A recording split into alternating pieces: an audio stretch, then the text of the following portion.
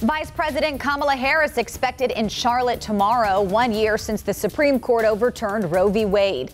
The vice president scheduled to give a speech rallying reproductive rights advocates. That as North Carolina lawmakers rolled out some surprise changes to the state's new abortion regulations.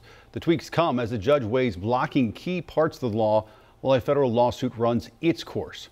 Wake Up Charlotte's Tradisha Woodard joins us now live this morning. And Tradisha, this law is set to go into effect in just about nine days.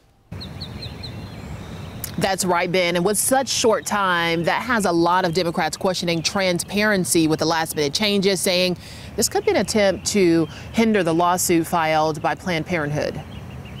North Carolina lawmakers rolled out some surprise changes to the state's new abortion regulations, which is set to go into effect July 1st. One of the changes deletes language from the original bill that seemed to limit drug induced abortions to the first 10 weeks of pregnancy instead of 12 weeks, which generally is the cutoff for abortions throughout the rest of the bill. While some Republican lawmakers say the changes were made to clarify the state's new abortion law before going into effect, some Democrats say it looks like an attempt to short circuit the lawsuit filed by Planned Parenthood. All of this comes as Vice President Kamala Harris is expected in Charlotte tomorrow, marking the one year since the Supreme Court reversed its previous ruling on Roe v. Wade.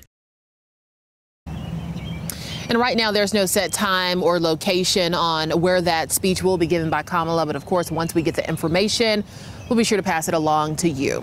Reporting live for Wake Up Charlotte, I'm Tradisha Woodard.